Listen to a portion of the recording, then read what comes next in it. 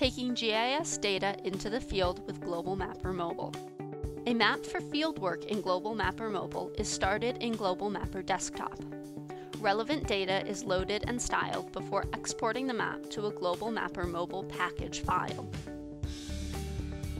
With a Global Mapper Mobile package transferred to a mobile device, this file can be opened directly through the Global Mapper Mobile app.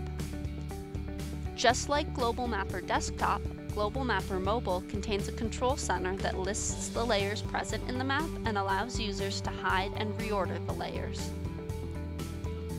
From the Location Display menu, enabling GPS display will by default use the internal location services of the mobile device to display the GPS location on the map and note the coordinate location and accuracy on screen. Vector features can be searched by enabling the search tool from the toolbox on the bottom of the screen. To search, an attribute is selected from the top half of the screen and a value is selected from the bottom the features matching the search criteria will be identified on the map. A long tap gesture anywhere on the map will launch the device camera to allow an image to be captured and linked to the map at the GPS location. Vector features can be created in Global Mapper Mobile using the point, line, or area digitizer create modes.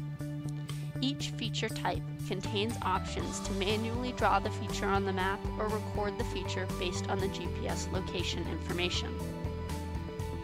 After completing the geometry of a feature, attributes can be entered or added on the new feature screen.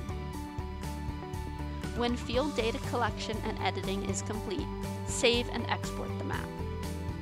With the saved map file transferred back to Global Mapper, the edited and analyzed data can be further explored. To learn more about Global Mapper Mobile, read the blog on this topic available at bluemarblegeo.com and download the app for free from the iOS App Store or Google Play Store.